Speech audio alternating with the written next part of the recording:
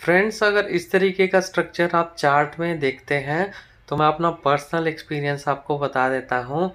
Share ऊपर की तरफ़ से मूवमेंट करते हुए आ रहा है नीचे और एक चैनल में आपको डाउन ट्रेंड में दिखाई देता है। दैट मीन्स ऊपर रेड वाली line as a resistance act कर रही है और नीचे ब्लू वाली line as a support act कर रही है और ये डाउन ट्रेंड में ही मूवमेंट दिखा रहा है। दैट मीन्स नीचे की तरफ़ ही चल रहा है, पर एक चैनल फॉर्म करते हुए चल रहा है।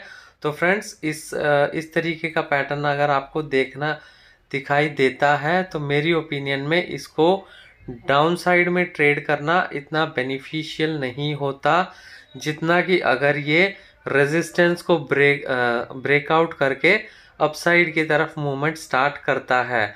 तो मेरी ओपिनियन है फ्रेंड आप इससे एग्री भी हो सकते हैं डिसएग्री भी हो सकते हैं।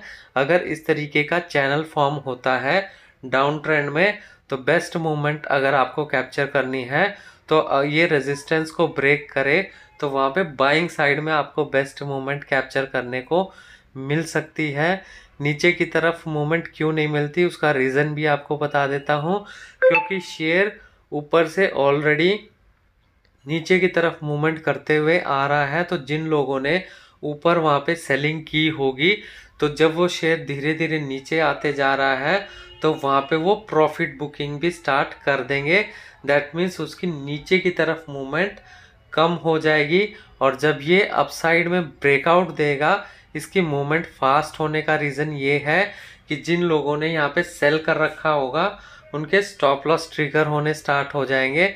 तो वो अपनी पोजीशन को कवर करने के लिए जो उन्होंने सेल साइड की पोजीशन बनाई हुई है बाइंग करनी पड़ेगी। और दूसरा, यहाँ पे बायर्स भी वेट कर रहे होंगे रेजिस्टेंस के ब्रेकआउट का। तो डबल पोटेंशियल के साथ यहाँ पे ऊपर की तरफ़ ये मूवमेंट दिखाता है। एग्ज़ाम्पल मैं इसका बता देता हूँ। फॉर एग्ज़ाम्पल जैसे फॉलिंग वेज में बुलिश मूवमेंट का रीज़न यही होता है। इसी तरीके से डाउन ट्रेंड में जो चैनल आपको दिखाई दे रहा है, उसमें बुलिश मूवमेंट के पूरे चांसेस और ज़्यादा चांसेस उसमें बुलिश मूवमेंट के रहते हैं फ्रेंड्स